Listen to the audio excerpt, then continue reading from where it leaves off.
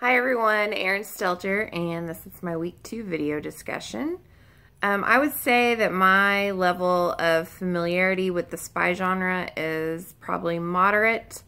Um, I looked up if you know some examples and also going by our list um, of spy text that we have for our journal um, assignment. I've seen several, but I also haven't seen quite a few of them, um, which means like I probably haven't been interested to watch several of them. Um, the ones I have seen, I've seen all of the James Bond movies um, because my ex-husband made me watch a marathon over a few day period a while ago and um, that's time I won't get back, but um, that's okay.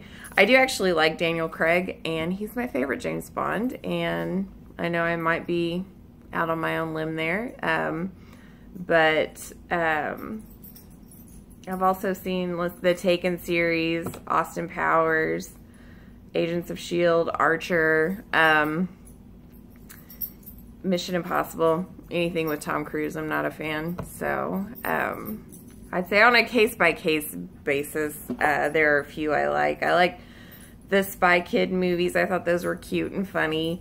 And um, there uh, were a lot of like little kind of inside joke type things. And um, I have a brother with Down syndrome and he loves them. So watching them with him is probably more fun than um, what you know watching them alone. But uh, more recently, I like the Kingsman movie. Um, I haven't seen the newest one that just came out, and I'd like to, but um, I like those, and I think part of the reason I enjoyed those was because there's a lot of humor, um, like witty humor, not like Austin Powers humor.